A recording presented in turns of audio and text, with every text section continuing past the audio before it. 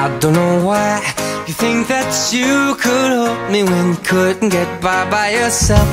And I don't know who would ever wanna tell the seam of someone's dream. Baby, it's fine.